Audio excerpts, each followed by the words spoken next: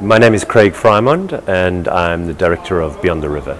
And Craig, what is Beyond the River? What's the story in the film? Uh, it's a story about two guys from very different uh, backgrounds who come together uh, to compete in a uh, extremely arduous canoe race in South Africa called the Dusi Canoe Marathon, Right. which is a 125 kilometer uh, race, probably one of the biggest canoe races in the world.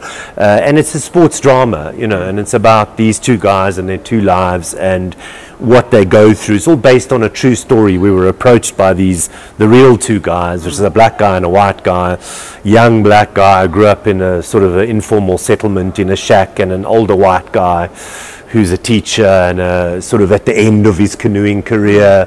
So it's sort of got all these elements of, of, of, of, of a traditional sort of sports story, but it's a little bit more than that in the sense that they are both very, very developed characters, very three-dimensional characters, and Presumably, a relationship develops. Yes, yes, yes, it does. Um, but it's equally as much a story about these two men and their two individual lives and various things that are going on in their own lives. So, so it's got the structure of a sort of a sports drama and the excitement around, I guess, that genre.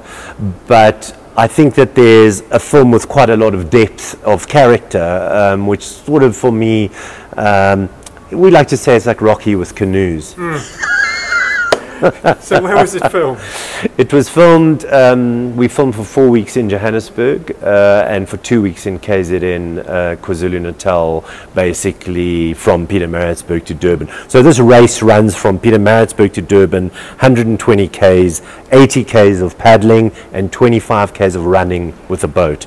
Uh, it's, it's uh, as I say, one of I'm the more one of the more extraordinary sporting events I've ever witnessed. And I didn't know, you know, when I started working on the film, I didn't know much about it. I mean, it's a, it's like the Comrades Marathon. It's one of our big sort of sporting events. But canoeing is a, a relatively niche sport in South Africa. So I didn't know much about it. And the first time I really got introduced to it was when we went to shoot the actual race hmm. in preparation for the film. And it was, it, it was mind blowing because it starts in Maritzburg, you know, about 120 k's from the sea and makes its way to the mouth of of, uh, of the Umgeni River. It starts on the Dusi River, crosses another river, and makes its way to the sea through very, very, very rural, what they call the Valley of a Thousand Hills yeah. uh, rural KwaZulu Natal's, you know, landscapes and Zulu villages that are pretty much untouched the way, you know, Yeah. uh, for the last, you know, 500 years. Yeah.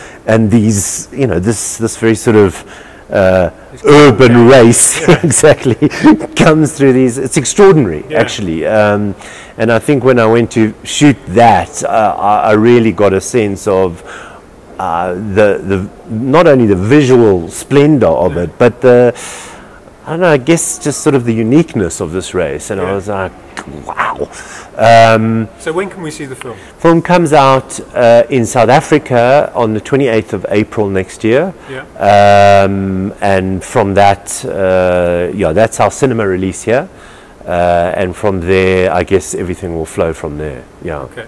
And what's your next film? Um, I have a few new uh, film projects. Uh, the one is a sequel to quite a successful film that I did called Material. We're doing a sequel to that. Uh, but probably the biggest film that I'm working on is a South African New Zealand co production called The Road to Broad Bay, which is uh, loosely based on the story of Professor Sean Davison, who was involved in a very big uh, story of going to New Zealand to help his mother die.